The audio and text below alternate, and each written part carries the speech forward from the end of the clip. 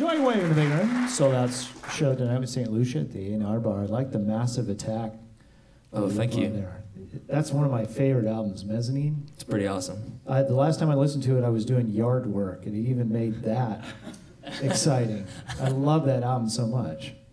Is that your favorite Massive Attack Song? album? Yeah. Yeah, Yeah. it's it's pretty mezzanine. That's what that, that was came out in like '98 or something. Believe it or not, it's such a great Pretty-.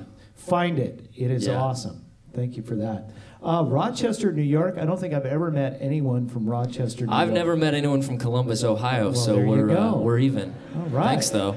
What's Rochester like? Uh, it's um, Kodak is like our big thing. Uh-huh. So uh, they didn't do well in the whole like film to digital transition thing. So now Joywave is uh, Rochester's big thing. Yeah, you are the major industry Yeah, and we provider we- of jobs. Right, we now employ more people in Rochester than Kodak does, so we're very proud of that. That's good. Chamber of Commerce will be happy about that.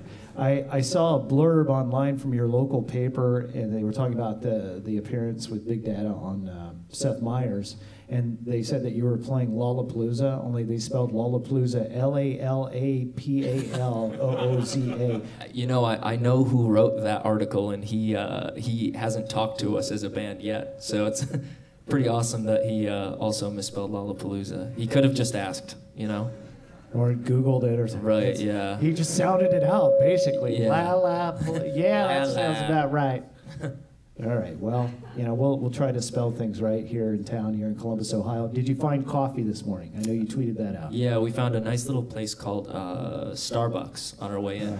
It's great. All right. If when you meet the band after, give them some local flavor with uh, suggestions because you know you got an afternoon to kill and some caffeine to pour in your face. I'm sure. So we'll give you some ideas. Thank you. Uh, how about another song, Joywave? What do you want to play Sure. for us?